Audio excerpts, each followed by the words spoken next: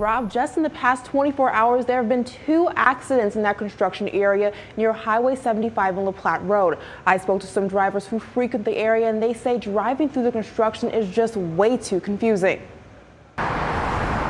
It's a mess. I was all over the place because I didn't know where I want, was supposed to be. Confusion and frustration. Those are the reactions I got from most drivers when asking about the construction along Highway 75 between Bellevue and Plattsmouth. These people only know one way to go home, and that's down Highway 75. And when that highway's closed off, they do not know how to even get to their own homes.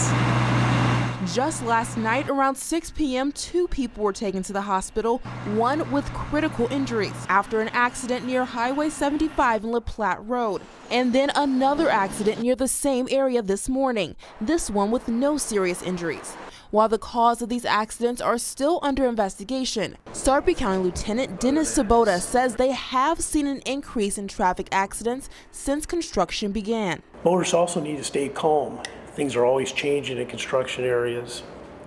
Pay attention. And the Nebraska Department of Roads says they are keeping an eye on the situation as well. Tweeting today, we've heard lots of concerns over the crashes on US 75. Please know we continue to monitor traffic control for necessary adjustments. One big change NDOR is making starting today. They're changing the speed limit from 55 to 45 miles per hour. There's also an active traffic control manager on scene much needed changes for people who frequent these roads. It's just really strange for people to drive nowadays on such narrow roads.